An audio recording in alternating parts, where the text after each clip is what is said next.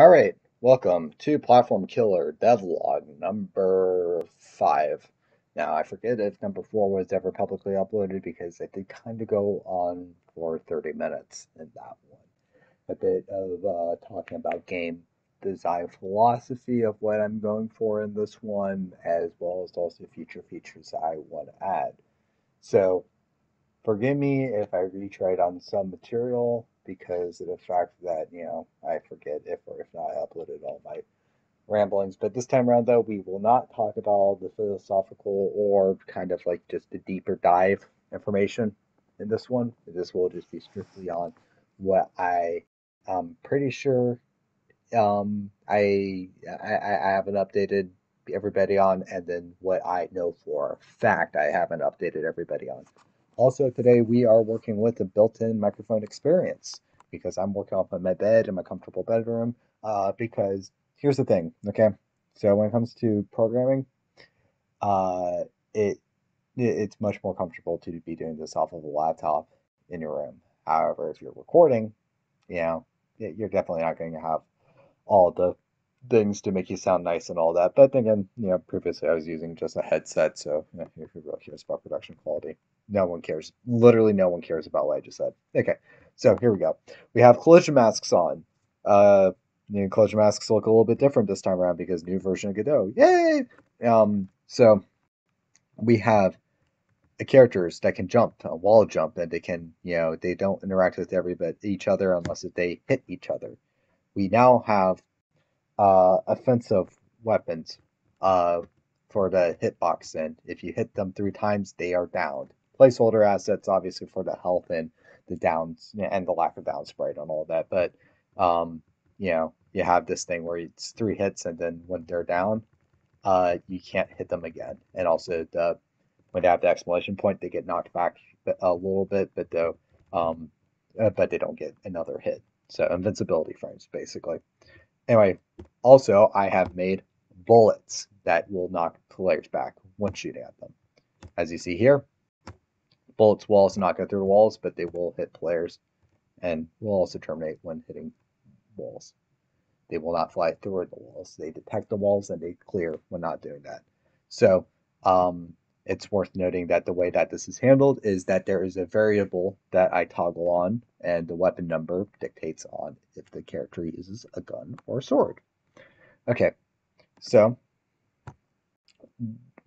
uh, next we have in here is that we have characters that, it, we have enemies. So if a player runs into an enemy, they get knocked back, and if uh, you know, uh, and uh, the enemies will down players, and uh, the the collision for the enemies, you know, there there is a collision for the the world, but then the the only interactions that the enemies have is with the collision shapes. This is a rebuild off of the previous. Oops, I accidentally did that, and that that's spoiling some things from later, if for later. Uh, but anyway, so enemies. I had to redo how I did the the enemy because the first crack at it was a bit wrong, and this crack at it is a bit better. I don't know why, but consistently, the one thing I have an issue with in Godot is uh, trying to build just simple basic Goomba style enemies. Every single time I try to build it, it's, it's like it doesn't go right for me. And this is the best attempt I have at it right now. But if I wanted to do one where like the enemy walks off the cliff, you know, there's definitely that. And then also, I for some reason I couldn't get this thing to work with one collision shape. It's look at this. It's um let's actually how do I pan over and in here. I don't have a middle mouse click. Ah, here we are. Okay, using trackpad, everybody. But as you see here, though, these are, let's hide the sprite, and boom, we have three different hitboxes, and then the third box is a collision layer thing. Anyway, um, so basically, it's an area which the player enters the area of the enemy. Basically, that it, uh, uh the the characters interact, and they get told to basically be flung and also be hurt in the in the hurt state thing as you see, that there kind of acted a little sus and, um, hmm, that's actually acting wrong. You were looking right a second ago. So, hmm.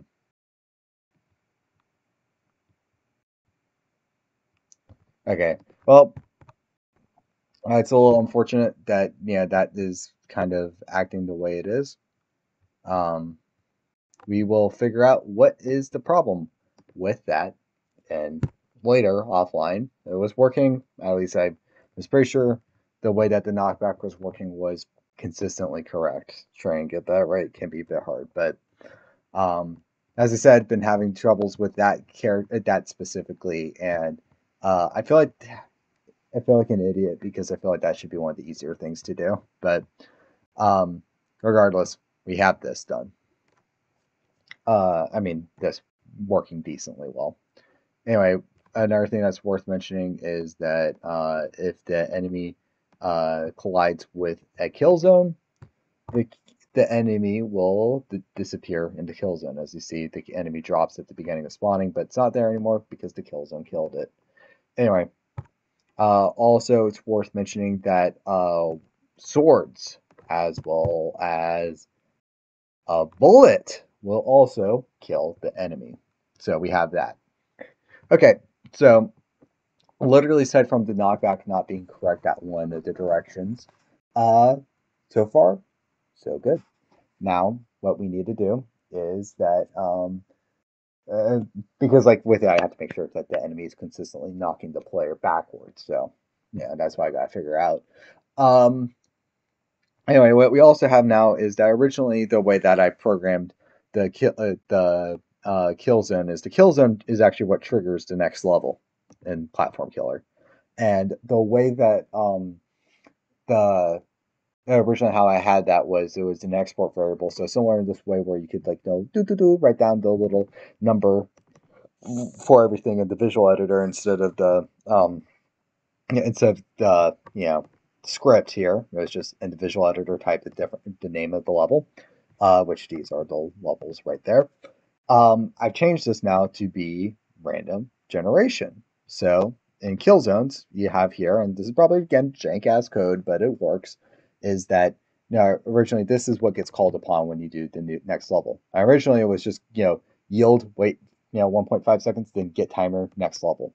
Uh, next level I changed next level as a variable entirely from the string export variable to be uh, this where um, next level becomes these different names for levels uh, off of level number, and level number is uh, dictated from uh, the RNG because the uh, uh, and you know the RNG is called down here, and these are the sample numbers within there. It's one through four, and depending on one through four, it will tell level. It will get a different level number, and depending on the level number, you'll get to the next level.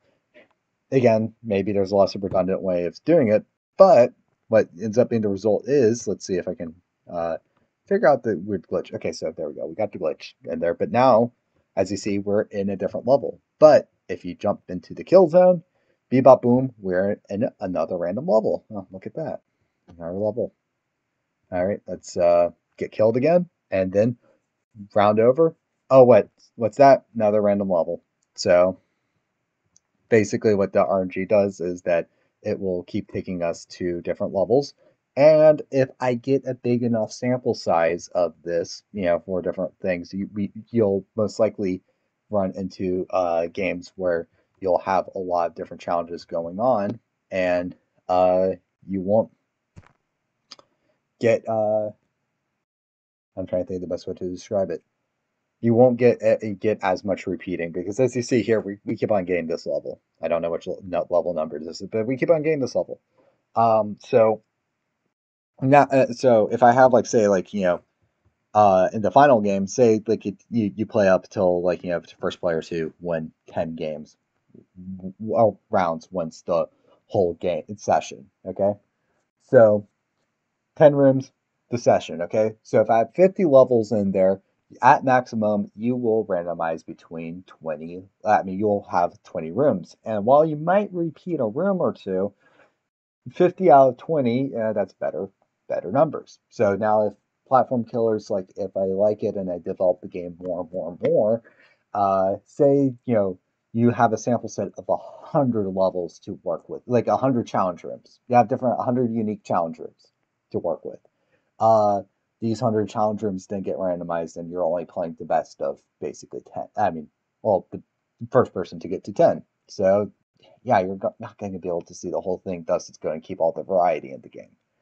Um, now, when playing the game, I might have to figure out how to bench number, bench a number and all that stuff, which I could probably figure out to do that with global variables as well as also change the probability of like if it's more likely to do one type of challenge or the other. Also making sure in option sessions like, oh, I want to race only. Oh, I want to fight only. Oh, I want to do a mixture. That type of stuff. Eh, I'm gonna have to figure out in settings later. But you know, right now I'm trying to build to just get to the next playtest, which just is, you know, after I get some more level samples in there, is good enough for the next playtest, except eh, maybe I might want to add a couple things.